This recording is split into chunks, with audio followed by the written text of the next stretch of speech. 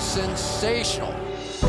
The way in which I fell in love with math and football were actually quite different. So when it came to football, my father was a football player. In his office, he had this uh, he had this portrait of himself like mid-stride running around on the football field. And when I was a little kid, I would always, I would look at it and think like, oh, I want to be like just like my dad. You know, I want to be a football player. Uh, math was, uh, was different. Before I got to college, I didn't know what a mathematician was. I had actually never even heard, heard the name. And I bet if you asked my high school self, like what people who just study math do, I would have guessed they become teachers. And when I got to Penn State, I started out majoring in aerospace engineering just because my mother told me to.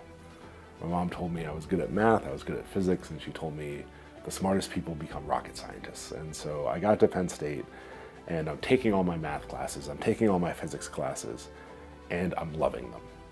And I'm enjoying them way more than the engineering classes I have to start taking. And then I sort of realize maybe I should just major in math or major in physics and then when I started majoring in math and I started interacting with math professors, I started to realize that you can actually do things with math. You know, you can become a mathematical researcher.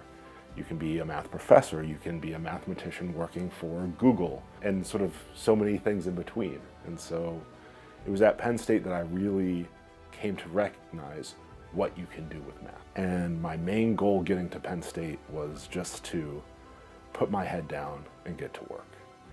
And I can tell you that my, uh, my five years at Penn State, these are five of the best years of my life. I was, I was really focused on proving myself as a football player and really my big goal was to be a starting offensive lineman in the Big Ten. And my focus was really on just working hard, trying to be the best football player I could be, and then do well in my classes. And I thought, oh, I'll, I'll figure out what I actually want to do as you know as time goes on. College football, I would say, was by far my favorite level of football among you know like you know grade school, high school, college, and professional. It's something special, and to be able to go out there, you know, every Saturday, represent my university, a university that you know gave me so much and means so much to me. It's it's special. I mean, to this day, you know, my best friends in the world are guys I played college football with. But given my career as a mathematician, somehow you don't get to be close to college football so much.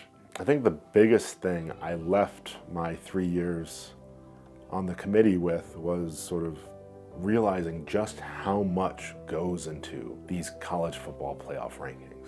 Having been a part of it, I've left with the utmost respect for the process and for the college football playoff board and everything that they do. Penn State, in my experience, both as a student there and as an athlete on the football team, has shaped who I am and where I am today. I mean, it's at Penn State where my love of math, something that I've always really enjoyed, turned from a hobby to actually my life's passion. There were a number of people that really helped me along in my math career at Penn State. The very first was a professor by the name of Vadim Kaloshin. He sought me out and he asked if I would be interested in doing some readings outside of class, and this eventually grew into a research project.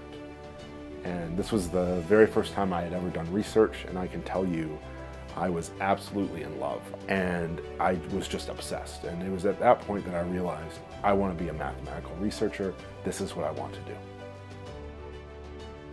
When I think of Black History Month, I think of all the people who came before me and all the people who made sacrifices, all the people who persevered so that I can have a much easier life than they did. I think what I do mathematically matters more than just for myself because I am a black mathematician. I, you know, I recognize this and I think I have a responsibility to one, try to be a good role model, and two, try to mentor young would-be mathematicians that otherwise might not see themselves in, uh, in a certain field.